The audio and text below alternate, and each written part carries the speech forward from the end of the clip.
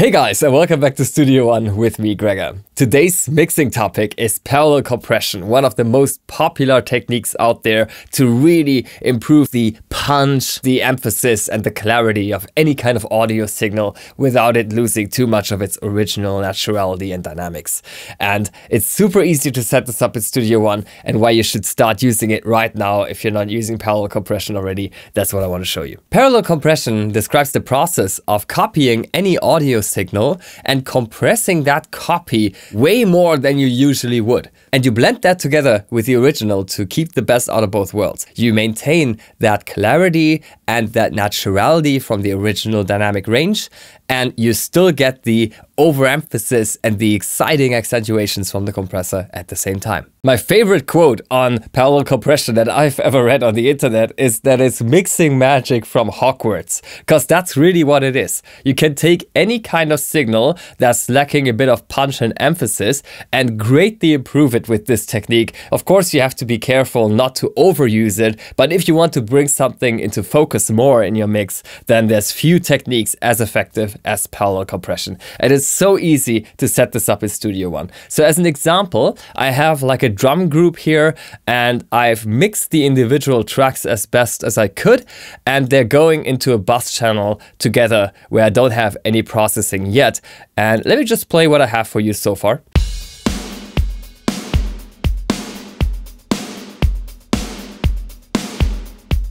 And it sounds fine, but my major issue with this is that the kick drum is super dry, while the snare is super wet and far away, distant, drenched in reverb.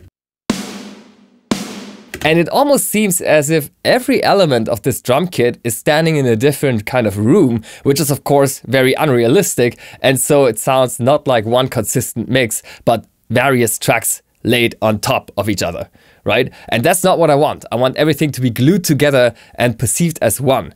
And Parallel compression can greatly help with that because it brings everything a bit closer together. If you want to learn more about compression and what compression is, I have an entire video manual that explains the basic concept. So if you haven't watched it already, please go ahead and check it out first because we're going to take the lessons learned from that video and apply them to the extreme today in parallel compression.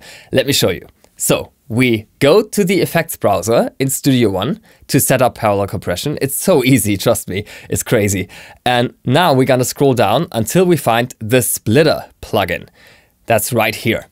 And that splitter plugin will divide the bus channel into two separate streams that we can process independently from each other. We can actually split it up to five times, which is great for multi-band applications, but today two splits will suffice. And now you might think, wait a minute, how's that different to just creating an aux or a send to duplicate that channel and process the second half of it? Well, the advantage is that you don't have to duplicate the channel in your mixer console. And also the splitter plugin does this with perfect gain compensation. So that's already taken care of. You don't have to do this manually. And so an A-B listen comparison is much easier to do with the splitter. It's just a super convenient way to set this up without any extra routing required. It's just a plugin. And that's why I love the splitter so much. It's just so convenient. Okay, so now that the splitter is on our bus channel, we can decide what kind of split we want. A normal split takes the channel signal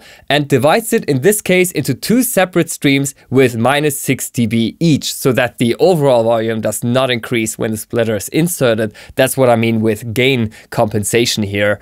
And now we can insert an effect here on just one of the streams. And this allows us to set up parallel compression very nicely, which means that we have a compressed signal in parallel to the original channel signal and we can mix both together until we find that perfect balance. Alternatively, which we're not going to cover today, we could also do a channel split, which divides the channel stream up into a left and a right channel. This can be very cool for some advanced stereo processing. We can also use that for mid-side processing with any plugin that we want, which is quite impressive, but not the topic of today's video. And finally, a frequency split, which would allow allow us to do multi-band processing, yet another topic, but that's not what I want to cover today. So we just keep it in normal split mode for today. And now we can insert any kind of compressor that we want. It would be great to use a coloring, really obvious compressor here because we want to make that second stream as overemphasized as possible in order to mix it together with the original and get the best out of both worlds. So I'm gonna go for the fat channel here and I can just drag the fat channel into the right stream or the left stream. It doesn't matter in this case because these are identical of my splitter. Okay, and once I've done that, I can just open it up. And in this case, I really want to use the fat comp that Fat Channel XT comes with.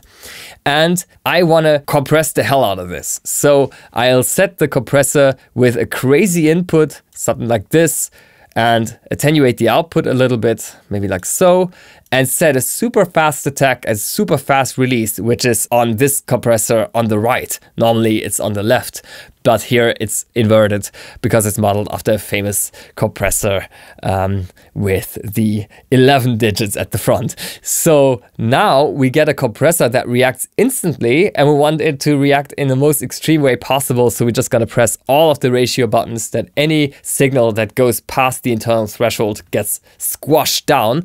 And if we listen to this in solo, it sounds absolutely bonkers, of course right? That's that's like what?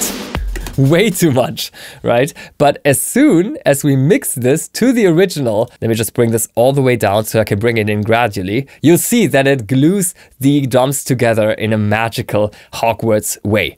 Check it out.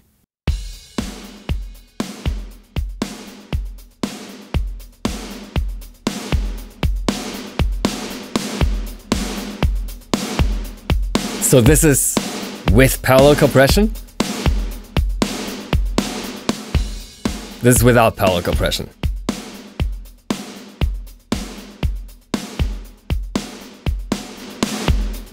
With parallel compression. And without parallel compression. With.